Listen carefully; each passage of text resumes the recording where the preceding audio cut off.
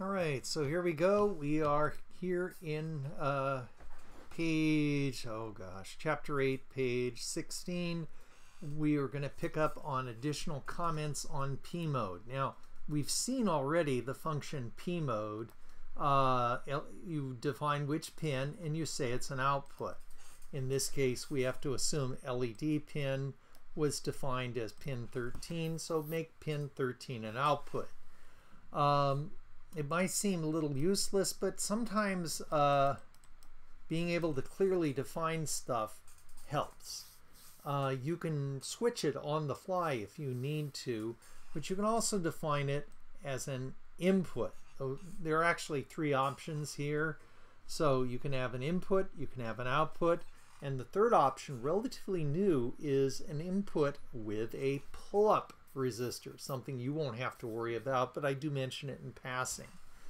Um, of course, making LED pin an input when I want to send something to it is useless. Now, I have to warn you that if you don't define LED pin as an output, it's like picking up a microphone to a radio and going, uh, anybody out there copy and yell in the mic and scream, you didn't push the push to talk button. You're not transmitting. Nobody hears you. So that you've got to be very exacting here. And the problem is if you make the mistake, there's nothing in the compiler to go, you blew it, uh, which is unfortunate, but you know, that's the way it is. Uh, so say for example, we had a little more complicated program. Um, we've got LED pin as pin 13. We've got a button A and a button B. Those are labels or names I made up. Okay, so obviously we would want to have LED pin told as an output. Notice the semicolon. And here we are, button A is defined as an input. Okay, so it's already by default an input, but it's always nice to be exacting in your program. You have to remember that the computer has a mindset like this. It takes everything you say literally. And I, I might as well tell you this. I tell every other class this. If you ever have the chance to go to Lewiston, Idaho, you will be very disappointed. But that's the biggest place around in that section of Idaho. But if you go up the river, the Clearwater River, uh, there's a place called Orofino, even smaller than Lewiston. is only like, uh, oh gosh, I can't remember now how many people live there. Uh, not very many, 30,000 or so, 33,000. You go to um, Orofino, that's 3,000 people. Now, if you want, you can go up the Orofino grade. The Orofino grade is about a 2,000 foot climb up the hill. Uh, and uh, it's very steep road. It used to be a lot narrower than it is now, and uh, there are no guardrails. If you want to drive off the road, be my guest. Uh, you know they figure you're not suicidal if you go up this road. Uh, the other one that cracks me up in the area is called the Greer Grade. Um, years back, it used to be one lane wide, and people would uh, in Greer there are no bars and so they would go to Nez Idaho at the top of the grade, get drunk at the bar, and then drive home. And, you know, there were no guardrails to prevent you from driving off the edge 300 feet to your death. Yeah, fun place. Uh, anyway, um, C is like that. If you want to drive your car off the road, be my guest, there's nothing going to stop you. So you have to be exacting because if you say button, button A input and you really intended it to be input with a pull-up resistor, doesn't know any better. It'll let you drive the car off the road. There's no protection there from saying something stupid. It allows for it. So this is an input pin, but this is an input pin with a pull-up resistor. It's internal in the processor and it's turned on. Okay. Now, I suppose we should go over the thing about pull up or pull down resistors. Okay, now but uh, hmm. Um, remember with a pull-up resistor, it drives the pin high, so when the switch is open, we read a 1. But when it's closed, we read a 0. Exactly the opposite of what you thought it would be. So I just wanted to mention that in passing. Now, as far as labels go, try to pick a word that makes sense. Uh, so generally, there are suggestions and then there are hard rules. So usually labels begin with a lowercase letter, not a hard requirement, do anything you want to. But if you're following C protocol, that's what you do. Now after the first letter, any letter or digit, 0 to 9, may be used. Uh, uh, again, uh, that's that is a hard rule. Okay, generally letters remain in lowercase except for the first letter of any additional words. That's a suggestion. And spaces are never allowed in a label because if you have start space pin, the compiler will see start as one label and pin as a second label and have no idea what you meant. And finally, another suggestion, we try to pick words that describe what the label represents. You know, you could have XR207 for a label and it's perfectly cor syntactically correct. So let's look at some valid labels and, you know, start pin. Well, you can probably guess that that starts the process. Stop pin, that stops the process. You can easily reset system pin. Hey, that starts it at the beginning. Error buzzer, mm, must be an output and that's where the buzzer is wait time. Notice we're no longer talking about pins. You can have a constant that represents a any value you choose. Okay, so this is the thing about these very these uh, defining constants. Okay, now as far as the compiler is concerned, whether you said digital write LED pin high, uh, it's a lot easier to understand. This is syntactically correct, but it's harder to understand you know, pin 13. Well, you know, it's the only pin in the program. Who cares? You'll remember. But you have like 20 or so different pins. It's hard to keep track of what everything is. Okay. Now, I should point out the W in digital write is a two-word thing. Do you notice lowercase, uppercase, the beginning of each word starts with an uppercase thing? Uh, this is where students have the hardest time. They'll write the code exactly as they see it on the paper and can't figure it out because they used a lowercase w. Why? Because the compiler had no idea what you were talking about. Okay, variables. I like to think of variables as a little tiny box we stick numbers in. We can change a number at any time. And when we first define it, we have something called int. int says, hey, I'm defining a variable.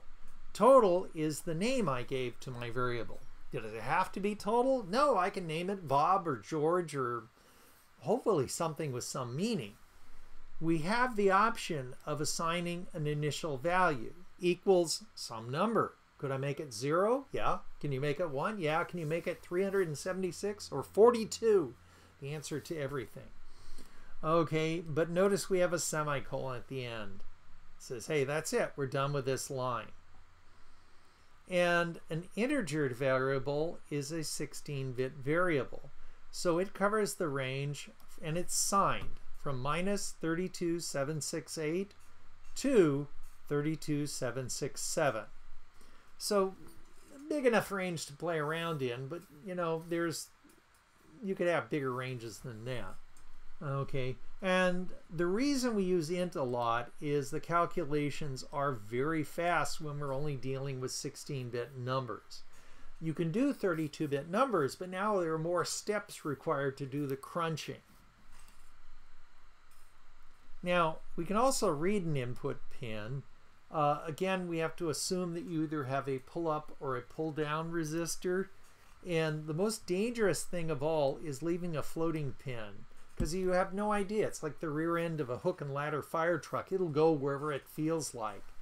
And without the resistor, it might go high, might go low, might go somewhere in between. So for example, here we have a pull down resistor. Here's plus 5 volts. There's our switch or push button. The pin connects to a resistor to ground. So when the button is not pressed or the switch is open, the only voltage this pin can see is to ground, and because this pin draws almost no current, uh, this resistor is, is nothing. There's no voltage drop or anything across it. So it sees zero volts, hence it sees a logical zero. The pull down resistor is very logical because when the switch is open, we see a zero. When we close the switch, boom, the 5 volts goes to here. We get 5 volts across 10K. Um, a fraction of a milliamp. I can't do it in my head right now, but you get the idea. Um, so this is very nice. It's very easy to do. Okay, so now we see open. It's going to be low. The switch is closed. It's going to be high. Every student goes, got it. No problem. Except that's not the way we do it. Uh, most button switches are connected to a pull-up resistor, which is exactly the opposite of what you were expecting. Now, I know this is a little confusing, but this thing about pull-up resistors, and here's the equivalent circuit right here, uh, the pull-up resistor is done because at plus 5 volts, the chance of any noise coming in here and driving this towards ground is very low. Whereas with this circuit, with the pull down, um, it's at zero volts. It doesn't take as big a noise spike to get this to go high, where it'll go to one. Now, when you have a pull-up resistor, you're, oh well. Uh, when you have a pull-up resistor, you're in backwards land. So when the switch is open, what does the pin see? 5 volts. A 1. And when the switch is closed, now it sees a clear path to ground, a zero. One is open, zero is ground. Exactly the opposite of what you were expecting. Oops, highlighted too much, but you get the idea. And it in the beginning, it's a little hard for students to wrap their head around it. Just remember, pull up is like 99.9% of the time we use pull up resistors. I have done circuits where I've done pull down resistors, but almost everything else I, I, have ever done or seen or whatever is pull up resistors. Okay. So I want to stress that the majority of electrical connections for input switches buttons use a pull-up resistor. It's the favored connection because it offers higher noise immunity. Now, to read an input button, all you have to do is digital read pin number. You could actually type this in as a line of code and it'll work. Oh, you want me to read a pin? Which pin? Oh, here's the pin number. Okay, got it. Now what? Oh, wait. End of code. Go on to the next line. The compiler would be quite happy and the computer will do that. Usually we try to do something with it. Like for example, we could create a variable called x and we could read the button and store it into x. That's all that's saying. Now, once you get a value, you can do comparisons. There are six comparisons possible. Either they're equal, less than or equal, well, 1 and 0, there's really not a whole, these guys aren't very useful. Greater than or equal, less than, greater than, not equal. Generally, equal is the choice. Okay, now, you notice that when we assigned a value, we used a single equal sign. But when we do a comparison, there are two equal signs. Subtle but very important difference in the language because if you use one equal sign, the compiler means thinks you want to assign a value to something else. And it'll go, okay, here it is. You know, if x equals y, one equal sign. It says, oh, you want me to take uh, assign y into x. All right, hey, it worked, yay! And then it gives a 1 every time. Uh, that is not what you intended to do. But again, the compiler is, you know, mm, the computer isn't very smart. But these comparisons are very helpful as we try to go through code and pick things. Uh, I'm going to only mention while briefly, but usually uh, we see it this way most of the time. While some condition, whatever it is, we're comparing something to something, if it's true, it'll keep repeating this. If it's false, it quits. Say it's false in the beginning. It never executes these lines of code. Uh, this is just a single line while. This is more common. This is the multi-line while. And this while function is very, very powerful. Now, if the condition is true, look at this. While 1 plus 1, notice the double equals, we're comparing. 2. Well, does 1 plus 1, what do you get? 2. 2 equals 2. Is 2 equals 2? Yes or no? The answer is yes. It's always true. It will always execute what's between these brackets. What about this guy? While 1 plus 1 equals 3. Well, 1 plus 1 is 2. Does 2 equal to 3? No, they're not equal. They're totally different. Never going to happen. Even if you get drunk, it's not going to happen. It is considered false. And because it's always false, it will never execute this line of code. It just skips right, these block of code, it will always skip over it. So that's the thing about a while. Now, what's kind of cool is, let's say we create a variable called time. Okay, 10. Okay, we're going to set it to 10. While time is greater than 0. Well, it's set to 10. Is 10 greater than 0? Yes, it is. Okay, so we're going to do all these line of code. And then I notice here it says time minus minus. What this does is the equivalent of saying time is going to be equal to, well, first take the calculation. Time minus 1. 10 minus 1 is 9. Where does it go? Back into time. So now it's it decrements it by 1. So first pass, time is now 9. 9 greater than 0? Yes. Da, da, da, da. 8 greater than 0? 7, 6, 5, 4, 3, 2, 1. And then we find 1 is greater than 0, but when you hit 0, is 0 greater than 0? No, not in your wildest dreams. So it says, okay, I'm not going to do this block of code. So it's time hits 0, it goes there. So it's possible to do things like this, counter loops using while. So it's a very powerful feature. Okay, now normally we would cover this, but I want to kind of gloss over a few things. Uh, the Arduino does have the ability to make sounds you have to define the pin for the speaker where it's going to output the sound and the frequency. Uh, you can also do speaker frequency and duration of the sound. This duration is in milliseconds, not seconds. And of course, there's a no tone function to, uh, if you create a sound, you can say, hey, turn it off. I'm not going to go into great detail about that. Just be aware it exists. Uh, I do have a word of warning. You know, tones generally go from 31 to 2000, sound okay. But as you go higher in frequency, it drives people nuts. So I tell people limit the sound output from 31 to 2000, please. Occasionally I'll get students who want to go up to 5 and 10,000 because they think it's cute. But, uh, you know, it you, you want to avoid the wrath of your fellow students. The higher pitched stuff hurts the ears. Um, at first you're going, isn't that kind of useless? But you know, it gives personality to your robot or to your computer. And if you think about R2D2, what has R2D2 ever said in the movies? Just a bunch of tones. But yet those doo -doo -doo makes perfect sense to everybody. It gives it a feeling of something. So here's an actual program that has to be done on the bot. Yeah, you silly thing. What do you want to do that for? Okay, bot board, we have the speaker at pin 3, button A, button B, and so on C. C. So we want to say the speaker is an output because if you don't have an output, there's nothing going out. A, B, and C are inputs. They already have built-in pull-up resistors, so I don't need that, but we like to define it anyway.